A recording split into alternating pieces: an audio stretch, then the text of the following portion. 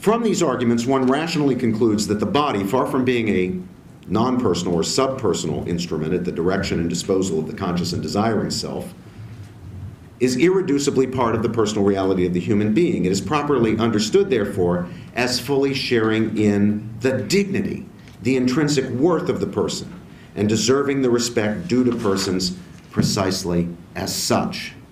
A comatose human being is not uh, uh, the shell of a person, the person having gone, having left the shell, leaving a, a shell behind the way an oyster leaves a shell behind. A comatose human being is a person in a coma. The early embryo is a human being, and precisely as such, a person, the same person who will soon crawl and then walk, and then in a few short years be asking mom and dad for the car keys. It's the same living member of the species Homo sapiens, that same creature at a different stage of development. The genetically complete, distinct, dynamically unified, self integrating organism that we currently identify as the, say, 39 year old or so Bishop Salvatore Cordileone, is the same complete, distinct, dynamically unified, self integrating organism, the same living member of the species Homo sapiens, the same human being, the same person who was once a 24 year old seminarian and before that, no doubt a precocious 16 year old high school student. Before that, a mischievous adolescent. And before that, a toddler, an infant, a fetus, and an embryo. Same guy, same living member of the species. Although he has grown and changed in many ways, no change of nature or substance. Nothing changed him from one kind of thing into another, from a cow into a human being, or a fish into a human being or a rock into a human being. No change of fundamental nature occurred as he matured, and he did mature with his completeness, distinctness, unity, and identity fully intact. From the embryonic through the fetal, infant, child, and adolescent stages of his development, he finally emerged into adulthood. At no point was he somebody different or something different. Those differences, those stages are just that stages in the development of a unified, determinate individual organism, a human being. He was a human being from the start. He did not become a human being sometime after he came to be, nor will he or any of the rest of us cease to be human beings prior to our ceasing to be by dying. In view of these facts, it's evident that the central ground of the secularist defense of abortion, infanticide, suicide, and euthanasia is decisively undercut. And it's undercut not by appeal to revelation, did you notice? At no point did I invoke Scripture, though I think there's scriptural support for uh, the pro life claim, as important as revealed truth is to the life of faith. No. We understand that human beings have dignity and worth, and if they have it, they have it at every stage and not just at some. And if they have it, they don't lose it, except by dying and ceasing to be. We understand that by engagement directly with the best arguments that Orthodox secularists make on the very plane in which they make them the plane of common human reason. Much the same is true in the area of sexual morality. Orthodox secularists would have us believe that marriage is a social and legal convention that, in a variety of possible ways, ways serves a purely emotional bond between two or more persons, a romantic connection. They believe that apart from revealed religious doctrine, which other people may, in the exercise of their own religious freedom, happen not to share, no one has reasons for believing marriage to be anything more. I mean, this, this really was the central claim on which Judge Vaughn Walker uh, made his decision in the Prop 8 case. And it's just, just that. But it's not true. Marriage is what some philosophers call a basic human good. That is an, a more than merely instrumental reason for acting, a basic fundamental aspect of the flourishing of human beings. By that I mean it's an intrinsic good, something that provides a more than merely instrumental reason for something that we do, namely enter into a marriage reasons which are knowable and understandable even apart from divine revelation.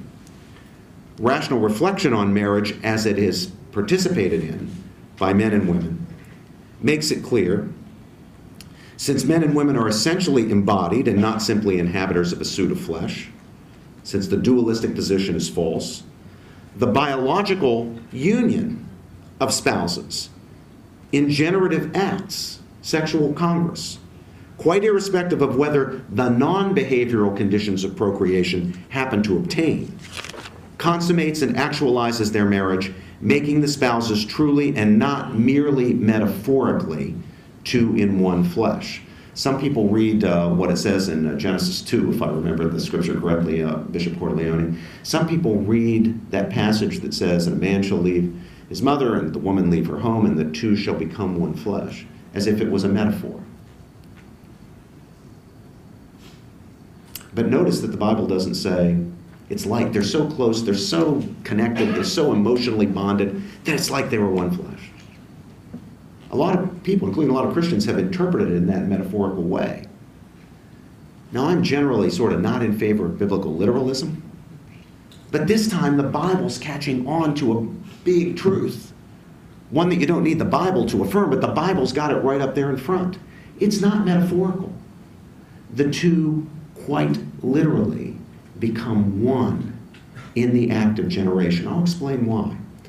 The sexual union of spouses, far from being something extrinsic to marriage or merely instrumental to procreation, pleasure, the expression of tender feelings, or anything else, is an essential aspect of marriage as an intrinsic human good. Marital acts are the biological matrix of the multi level, that is, bodily, emotional, dispositional, rational, spiritual sharing of life and commitment that marriage is. Because human beings aren't just emotional centers or consciousnesses inhabiting bodies. The complete sharing of life that marriage is, is a sharing of life at every level, not just the emotion, the dispositional, the rational, the spiritual, and the bodily. And according to Jewish and Christian tradition, and I think the broader religious traditions, that bodily union is at the very foundation. It's the matrix of the multi level sharing of life. This is what makes sense out of what would otherwise be inexplicable about our legal history of marriage, and that is the laws about marital consummation. Those laws were put into place centuries ago. And, but and there was no issue about homosexuality or whether same sex persons could be married. It, that just wasn't on the table then, folks. But the law had to consider what finalizes or completes or perfects a marriage, and whether a marriage can be annulled or dissolved in its absence. And the law consistently and without dissent says consummation. The performance by the spouses of an act of the sort that causes procreation, whether or not it does cause procreation. You couldn't get out of a marriage simply by proving that your spouse was infertile. Infertility was no impediment to marriage. It's because marriage isn't purely instrumental to having children. But you could get out of a marriage if you could show it wasn't consummated. This is a lot about what Henry VIII's first marriage was about. The legal dispute was really about whether Catherine had consummated her marriage to Henry's older brother, who was king at the time and then, and then died. You can make no sense out of this unless you understand the way in which sexual congress unites husband and wife in a very fundamental bodily way. Marriage is the form of intrinsically fulfilling communion that is what it is because it is a sharing of life that would be naturally fulfilled by the coming to be and the nurturing, the creating, the nurturing of new lives. And that relationship oriented to the coming to be of children that no one would have thought up except for the fact that people reproduce sexually, right? Have you ever thought about that? Would anybody ever have thought of marriage? Thought up the idea if human beings reproduced asexually? You know, if you could do it yourself? No. Right?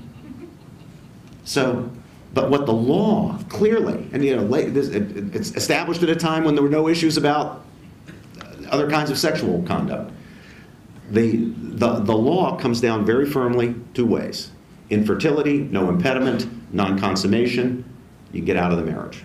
because it hasn't been completed, it hasn't been perfected. That while marriage is oriented toward the coming to be of children and has its shape and its norms are shaped by the fact that it is the uniquely apt institution for a relationship for nurturing children, its intrinsic value is sustained as a comprehensive multi-level sharing of life, the human being not being a non-bodily substance and the body being part of the personal reality of the human being. It, share, it, it, it maintains its intrinsic value even if the non-behavioral conditions of procreation do not obtain.